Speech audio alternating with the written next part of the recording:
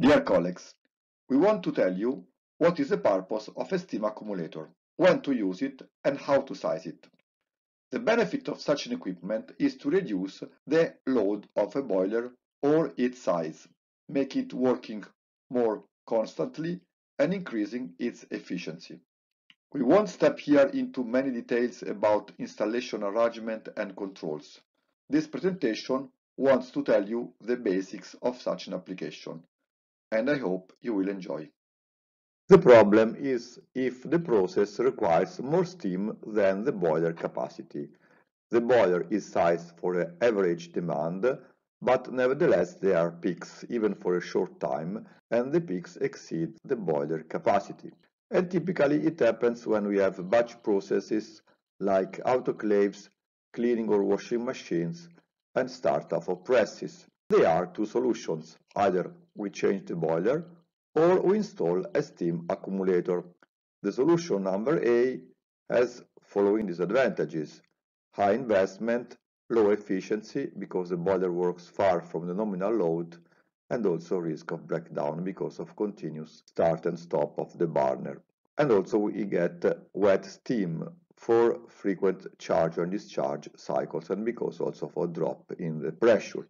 On the right side, we have a record of the steam demand versus time. The boiler capacity is only 4000 kg per hour, while the process has positive and negative peaks. The positive ones cannot be supplied by the boiler, or if they do, the pressure drops significantly. How to overcome the problem? The solution is to use a steam accumulator. How a steam accumulator works it is a pressurized horizontal tank which receives steam from the boiler at high pressure and releases steam to the user at lower pressure, and it contains both steam and water. Why not only steam? Because the steam has very low density and so it would be needed an extremely high volume. Let's make an example. The boiler supply pressure is 20 bar gauge and the user requires 12 bar. If the peak is 200 kg of steam above boiler capacity, we need to consider the difference in density between the two pressures, that is 3.92 kg per cubic meter. And therefore, if we have an excess of 200 kg, the required volume is 200 divided this difference in density. They are 51 cubic meter. The accumulator size is really giant. That is the reason why a steam accumulator doesn't work as an air buffer. The steam delivered by the boiler is heating the water in the tank, and the water flashes into steam since of delta P between boiler and process important that loading and unloading must happen in different times. Let's see now which size is needed with that different uh, construction.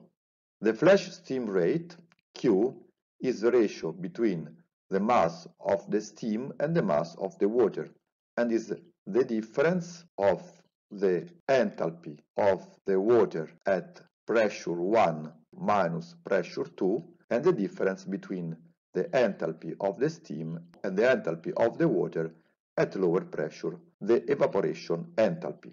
If we replace the corresponding values, we get for Q a value of 0.053 kg of steam per kilogram of water. And since 200 kg of steam are needed, then the corresponding mass of water is 200 divided this ratio, 3773 kilogram of water. And uh, while the accumulator is about 90% full of water and the density of water at 20 bar is 846 kilogram per cubic meter, then the volume of the tank is the value we calculated before divided 90% and divided the density 5 cubic meter that is 10 times less. Now we see how to size a steam accumulator. The input data are peak demand of steam in kilogram, delivery time in seconds, the delivery pressure, supply pressure, and the accumulator diameter. The output is the accumulator volume in cubic meter and its length in meters. How to calculate the peak demand? We need to record the steam consumption, mass flow function of time, and then we calculate numerically the steam excess, being the integral of the difference between the steam consumption and the capacity of the boiler. And finally, we look for the maximum of that function. And the delta time when the steam excess must be released is the difference between the time when the function has a maximum and the previous zero value of the same function closer to the maximum. Let's see an example now. The orange chart is the record of the steam consumption in kilogram per hour. The red line is the boiler capacity, also 2500 kilogram per hour. The green chart is the integral versus time of the orange minus the red, and its units is kilogram. We can read on the right axis. This curve represents the excess demand the demand that cannot be supplied by the boiler, and the steam accumulator has to be sized considering its peak and the delta time from the peak and the closer zero value backwards. From the chart we get the steam peak 216 kg and the peak time 380 seconds. Moreover, from the process we know the boiler pressure 18 bar gauge and the process pressure 10 bar gauge. From the available space, we say accumulator diameter must be 2 meters.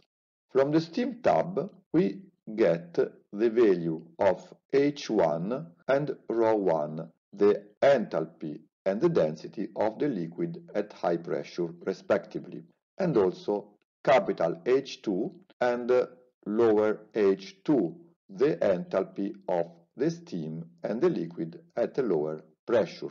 And then we can calculate the flash steam rate corresponding to 1 kilogram of water, Q, that is 0.058 kilogram of steam per kilogram of water.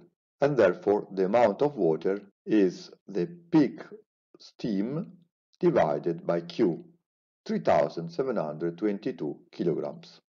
The water volume is the mass of the water already calculated divided its density at high pressure, that is 4.363 cubic meter, and the tank volume, considering a maximum filling up to 90%, is that volume divided 90% that we can approximate at 5 cubic meters.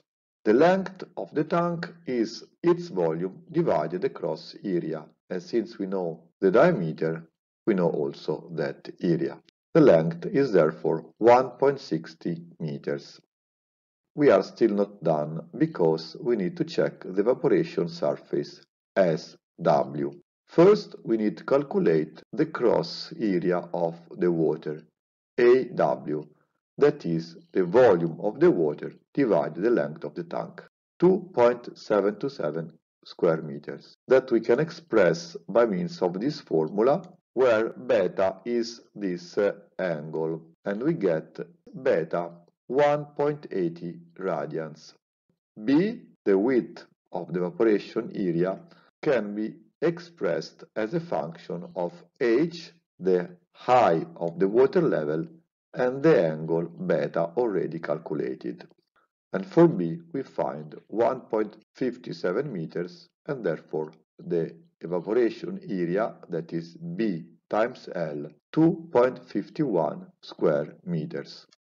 We need to check now if the evaporation surface is enough and we use an empiric formula saying that R being the product of an empiric factor 220 times the absolute pressure in bar is 2420 kilogram per square meter and per hour.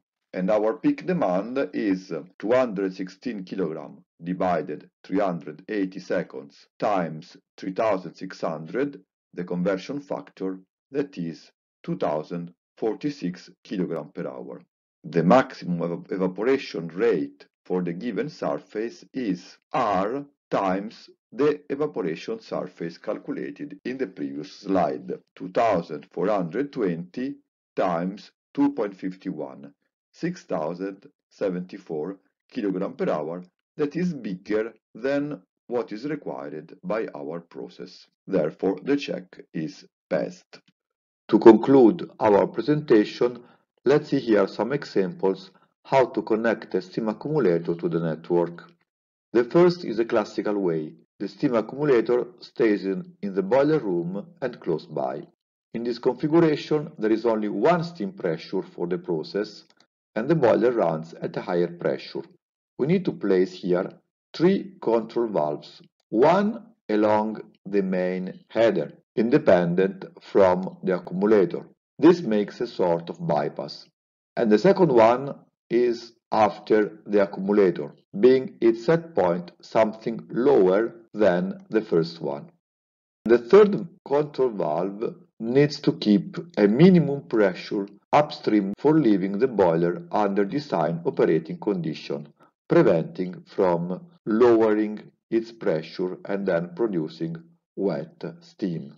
This is the case when the process requires two delivery pressures, one high and one low.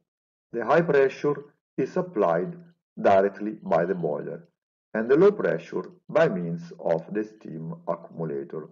And here is also recommended a bypass in between, even though it is not displayed. They are two control valves, one downstream the steam accumulator, that is the valve which controls the pressure to the process, and one upstream that uh, controls the pressure delivered by the boiler, as displayed in the previous slide. The last configuration needs being used when the accumulator stays far from the boiler. That is the case when the users affected by the high peaks are few and at a remote location. The accumulator has two inlets, one for charging and one for discharging, but both are connected to the same header. In order to prevent the backflow, we need to provide two check valves at each inlet. The pressure reducing valve is managing the delivery condition to the process. The system works, important to remember, only if the loading and unloading of the steam accumulator are happening at different times. And here is also the bypass incorporated. In this lecture, we have learned how a steam accumulator works and criteria to size it. Important that we need to get the proper data first from the process and also from the boiler. And the less is the steam pressure required by the process, the smaller will be the size of the accumulator. I hope you have learned something new and see you again.